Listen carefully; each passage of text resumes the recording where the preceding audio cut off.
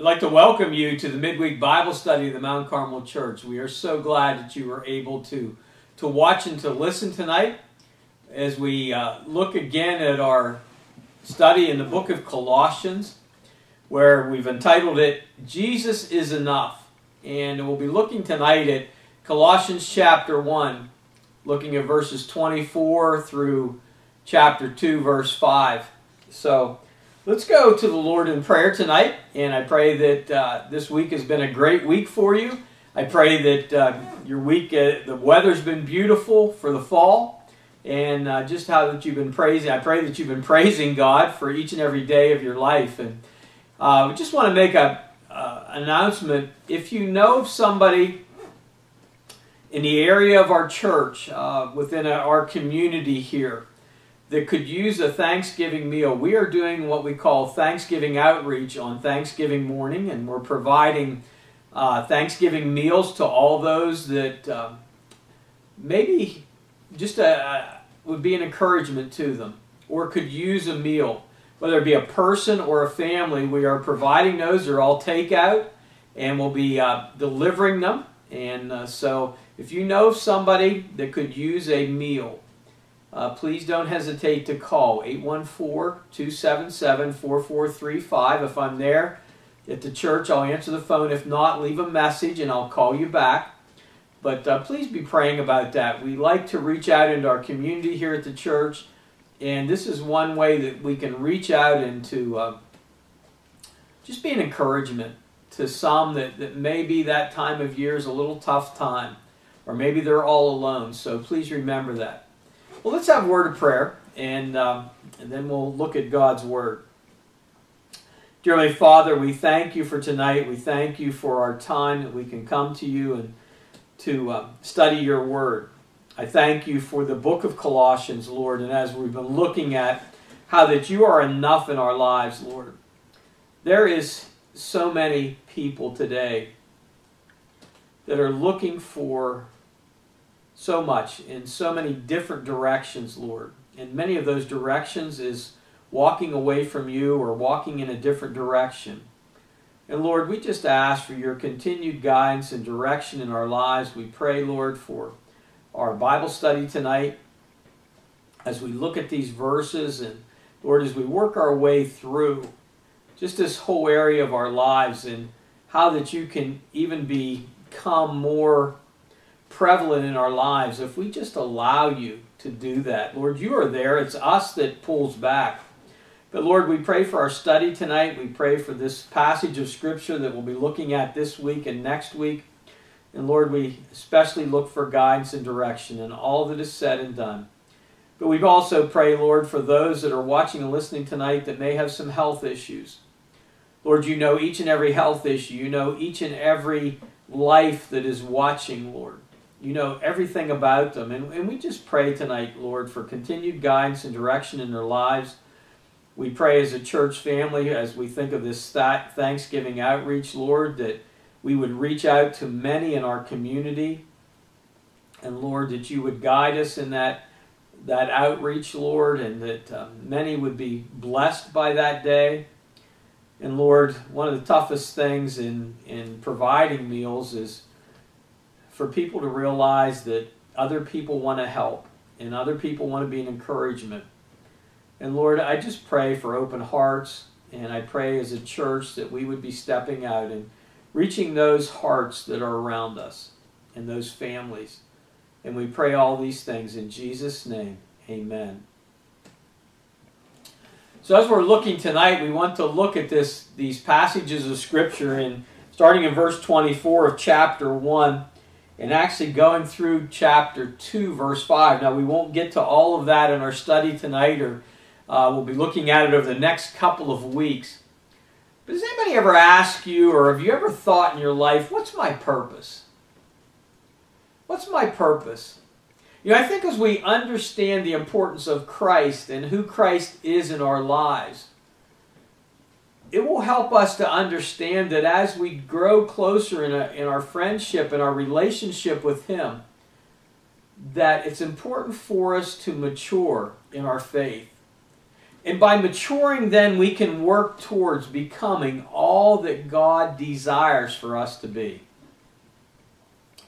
So we want to look over the next couple of weeks of kind of discovering our purpose. Or what is my purpose? What is what is about our lives as Christ is there, you know, what's my purpose in life? I thought of a, a really cute little uh, story, I guess I call it. It was a story that I ran across, and I'd like to share it with you. It's kind of a, an illustration. But a truck driver was hauling a, a load of 500 penguins to the zoo. And unfortunately, his truck broke down on the way to the zoo. Well, eventually was able to wave down another truck that was empty. And he offered the driver $500 to take the penguins to the zoo. Well, as we, we see that and think about that, what a funny sight that is, and, and what a funny sight that would be. Well, the next day, the, the first truck driver got his truck fixed, and he drove into this town, and he couldn't believe his eyes as he was driving into town. Just ahead of him, he saw the second truck driver that he had given the $500 to crossing the road with the 500 penguins waddling single file behind him. We jumped out of his truck right away and he ran up to the guy and said, What's going on? I, I gave you $500 to take these penguins to the zoo. To which the other truck driver responded, I did take them to the zoo, but I had enough money left over, so now we're going to the movies. You know, that guy, that truck driver, I know it's kind of a silly illustration, but that guy, that, that truck driver, didn't fully understand what he was supposed to be doing. Well, unfortunately, many believers today are fuzzy. They're, they're not sure about their sense of purpose. Well, the last few weeks we focused on the ultimate question of our lives. You remember that question? We looked at the supremacy of Christ over creation and His church. And we ended with a challenge, a challenge truly to each and every one of us to make sure that Jesus occupies first place in each of our lives. So, as we come to the next section of Colossians, we'll discover our reason for living. Colossians chapter 1, verse 24 through chapter 2, verse 5 answers that very question. It answers the question now that Jesus is supreme in my life, what is my perfect purpose as a believer? So, follow along as I read this, this passage of Scripture starting in Colossians chapter 1 and reading starting in verse 24 through chapter 2, verse 5. Follow along as I read. Colossians chapter 1, starting in verse 24 through chapter 2, verse 5. I now rejoice in my suffering for you and fill up in my flesh what is lacking in the afflictions of Christ for the sake of his body, which is the church of which I became a minister according to the stewardship from God, which was given to me for you to fulfill the word of God. The mystery which has been hidden for, from ages and from generations, but now has been revealed to his saints. To them God willed to make known, which are the riches of the glory of this mystery among the Gentiles, which is Christ in you, the hope of glory. Him we preach, warning every man and teaching every man in all wisdom, that we may present every man perfect in Christ Jesus. To this end I also labor, striving according to his working, which works in me mightily. Chapter 2, verse 1. For I want you to know what a great conflict I have for you and those in Laodicea, and for as many as have not seen my face in the flesh that their hearts may be encouraged, being knit together in love, and attaining to all riches of the full assurance of understanding, to the knowledge of the mystery of God, both of the Father and of Christ, in whom are hidden all the treasures of wisdom and knowledge. Now, this I say, lest anyone should deceive you with persuasive words. For though I am absent in the flesh, yet I am with you in the Spirit, rejoicing to see your good order and the steadfastness of your faith in Christ. You know, this passage gives us six statements that will help us discover what we've been designed to do, our, our purpose in life. And I hope as we look through these six things, it will help us to understand better. Now that I understand the preeminence of Christ in my life and I make him first in my life, how can I be better used by him? we want to look at these six statements. We're not going to do it all tonight. We're going to look at a few of them and then, then we'll look again next week at the rest of them. But the first one I want us to see in verse 24 is suffer joyfully for the gospel. Now, we might not expect this first one to even be included in the list, but verse 24 makes it clear that Paul saw suffering as part of the job description of a Christ follower. Look at verse 24. I now rejoice in my suffering for you and fill up in my flesh, which is lacking in the afflictions of Christ for the sake of his body, which is the church. You know, Paul willingly and joyfully suffered on behalf of others for the sake of the gospel, God's word. That little word now that we read, I now rejoice, does more than just provide a transition from what we have been reading in the last little bit, the preeminence of Christ to now. But it says, I now. You know, Paul's rejoicing because of what he has just written, and he's rejoicing now while he's in prison. Think of that. He's writing all of this while he's in prison. You know, most of us try to get rid of suffering when it comes our way. When we're in pain, we want to relieve it. Well, Paul was different. He found joy in what he suffered. Let's turn to uh, 2 Corinthians, the book of 2 Corinthians, chapter 7. 2 Corinthians, chapter 7, looking at verse 4. Verse 4 says, Great is my boldness of speech towards you. Great is my boasting on your behalf. I am filled with comfort I am exceedingly joyful in all our tribulation. You know, as we see that, you know, he suffered more, far more than, than most of us will ever suffer. You know, listen to what is written in 2 Corinthians chapter 11. So hopefully you kept your finger there, but 2 Corinthians chapter 11, I want to read verses 24 through 29. It actually starts in verse 22, but let's start in verse 24 and I'll read down through verse 29. From the Jews, five times I received 40 stripes, minus one. Three times I was beaten with rods. Once I was stoned. Three times I was shipwrecked. A night and a day I have been in the deep.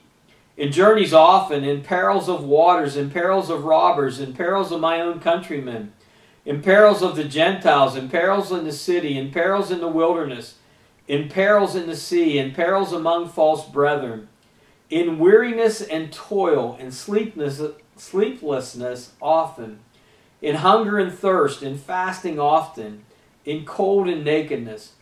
Besides the other things, what comes upon me daily, my deep concern for all the churches, who is weak and I am not weak, who is made to stumble and I do not burn with indignation if I must boast, I will boast in the things which concern my infirmities. You know, in this passage of Scripture, we see a lot. We see a lot that he went through, a lot of things that he talked about, his suffering. You know, before Paul's conversation, he inflicted suffering on believers. And, and think about that. Before he was, um, God got a hold of him, he was, he was producing infliction on believers and now he's suffering for them. You know, from the very moment of his conversion in Acts chapter 9, verse 16, Paul was told that difficulty was going to be part of his discipleship when Jesus said, For I will show him how many things he must suffer for my name's sake. When Paul speaks of speaks of that, he, say, he says, Fill up in my flesh what is lacking in the afflictions of Christ. You know, he's not saying that there's something wrong in what Christ accomplished on the cross. You know, as we learned last week in Colossians chapter 1, verse 22, we have been reconciled. In fact, verse 22 says, in the body of his flesh through death to present you holy and blameless and above reproach in his sight. His death has brought us peace with God. And there's nothing left to be done except to respond to what he has done on our behalf. The word affliction is never used to explain the sufferings of Jesus on the cross, but instead refers to the pressures of life that Paul endured. Christ suffered in death to save the church, and now Paul suffered in life to spare it. A famous theologian writes that Christ's cross was for propitiation Ours is for propagation. Christ suffered to accomplish salvation. We suffer to spread salvation. You know, Paul suffered for at least three reasons. First, he was suffering because of Jesus Christ. You know, like the early believers in Acts chapter 5, verse 41, Paul rejoiced that he was rejoicing that they were counted worthy to suffer shame for his name. Second, he suffered because of the Gentiles. Paul was committed to take the gospel to all people, not just to those who thought they were worthy of it. In fact, he was in prison precisely because he had taken the good news to the Gentiles. Look with me back to Acts, Acts chapter 22. Acts chapter 22, I'm going to read verses 21 and 22. Acts chapter 22. And as we, you know, we dive into God's word and and study God's Word, we find so much, and we find so much about Paul. But in Acts chapter 22, verses 21 and 22, it says this Then he said to me, Depart, for I will send you far from here to the Gentiles. And they listened to him until this word, and then they raised their voices and said, Away with such a fellow from the earth, for he is not fit to live. Then, as they cried out and tore off their clothes and threw dust in the air, the commander ordered him to be brought into the barracks and said that he should be examined under scourging, so that he might know why they shouted so against him. You know, we see Paul here, you know, and Paul telling others to reach out to the Gentiles and how that we see here that that they didn't want that to happen. In Philippians chapter 1 verse 12, Paul wrote from prison, "But I want you to know, brethren, that the things which happened to me have actually turned turned out for the furtherance of the gospel." Third, we see that he suffered for the sake of Christ's body, the church. You know, as the believers saw him suffer, he gave them courage. Courage to face persecution in their lives. I truly believe today that we don't fully understand the persecution that's going on throughout this world. Those that daily wake up serving God, maybe it's a missionary, maybe it's a, a, a church group in, in another country, maybe it's an underground church, but they, they each and every day serve God and spread the gospel even though they know that there can be persecution.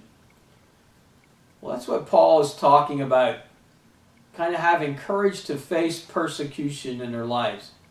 You know, since the church is Christ's body today, when Paul suffered, Christ suffered.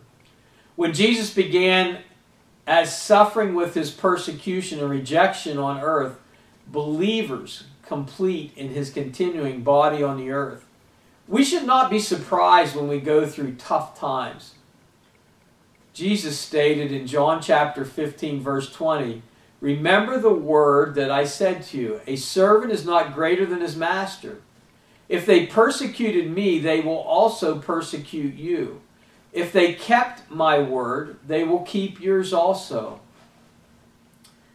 You may say, well, Pastor, what does that mean? Well, another way to say it is that when the gospel is carried to the ends of the earth, it will be accompanied with difficulty. In fact, in order to share the gospel, it is necessary to share in Christ's affliction. Paul's understanding of persecution, Paul's understanding of difficulty, Paul's understanding of suffering can help us when affliction visits our life. I think all of us at some point in our lives have been discouraged. I think that's a good term for affliction that we see kind of being discouraged with something in our lives and how that if we allow God to be first, that discouragement, that fear, that worry, that affliction that we have, understanding that preeminence of Christ can help us get through those times in our lives. We have a gentleman in our church that when he's going through something in his life, he calls it a speed bump. You know, Christ is there to help us get through those speed bumps in our life. You know, verse 24 reminds us to suffer joyfully for the gospel. In order to do so, we must keep the following things in mind. Suffering is part of discipleship. Christ's followers are recognized by the trials they endure because they follow a suffering Savior. I think of a verse in 1 Peter chapter 4 verse 12 that says 1 Peter 4:12 Beloved, do not think it strange concerning the fiery trials which is to try you, as though some strange thing happened to you. We know Jesus best when we suffer with him. You know, we studied the book of Philippians, in Philippians chapter 3, verse 10, a verse comes to mind that I may know him and the power of his resurrection and the fellowship of his sufferings, being conformed to his death something that we don't often think about, but suffering is a privilege. And we see that in 1 Peter chapter 4 verse 13. But rejoice to the extent that you partake of Christ's suffering, that when his glory is revealed, you may also be glad with exceeding joy.